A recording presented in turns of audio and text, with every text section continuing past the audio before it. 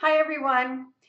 Every time I do a blog post or a video or any up close photographs that people can see my face, they always ask me, what lip color are you wearing? So I thought I would to do a reveal today and show you the lip colors that I bought from Merle Norman. I went by there this morning and bought replenishments because about once a year I throw away all my lipstick and go buy new it chemically changes, starts to smell funny, gets bacteria in it, whatever. Just go buy new and start all over again. Um, I just like working with fresh and clean better. This color is a Amour and it's from Merle Norman and it's a beautiful rich red color with a blue undertone. I always have to go with something with a blue undertone rather than a gold.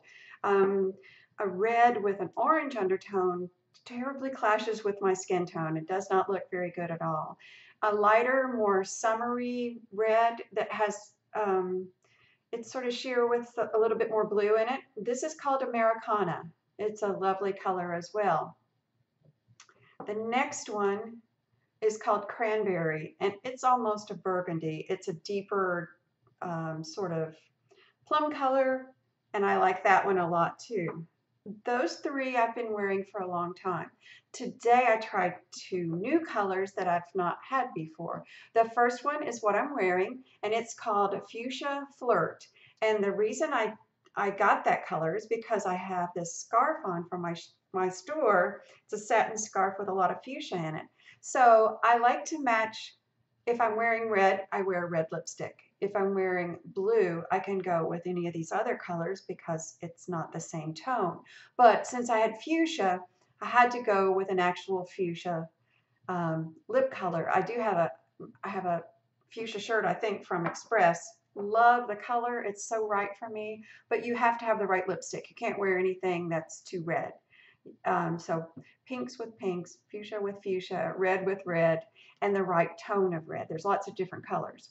I also got a new color today. This one is called Free Spirit, and it's almost the color of my natural lip color. So when I'm doing something, wearing something really casual, let's say a denim shirt and a white pair of pants and brown loafers and something, you know, neutral, very casual, it wouldn't be right to have glamorous red lips. So tone down just a little bit richer color that's natural looking that's what I would go with. So it's sort of, I match the attitude, like if I'm going out and I'm doing a glamorous evening look, the red Amour would be wonderful um, because it's dramatic.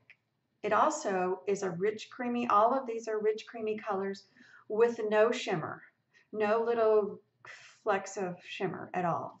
And they are not glossy. I don't wear gloss because uh, I'm over 60, so all of those too moist colors that are glossy, shimmery, too moist, they're just going to travel right into the lines around my lips and look pretty frightening. So I just don't don't use them. I put the color on and blot it really well. Sometimes I put it on and then blot it with my finger because that way you can get all of the excess off and you just sort of stain your lips rather than have all that stuff resting on top of them so that every time you talk, it moves a little bit every time you smile and you end up with lipstick where you really didn't want to have it. So that's my story about the lipstick and I hope that this has been helpful to you. If you have ideas or questions, just send me an email. I'll be glad to try to talk about whatever I do that works for me. I'm never telling you that this is what you should do. I just share my story, my experiences, and hopefully it helps other people figure out what's right for them. And I'm happy to do it if I can help someone. My name is Susan. I'm the editor of SusanAfter60.com. I'll put links down below for all of the things, the scarf and the colors of the lipstick that I showed you today. I hope that this little tutorial was helpful to you and that you have a wonderful day. Thanks for watching. Bye.